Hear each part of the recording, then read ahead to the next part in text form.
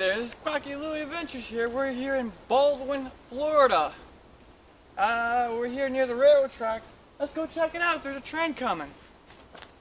No train horn? What is that? What the? I think this is. I, I think this thing needs to be taken down. People need to be aware of what was coming down the tracks. I'm out. Bye.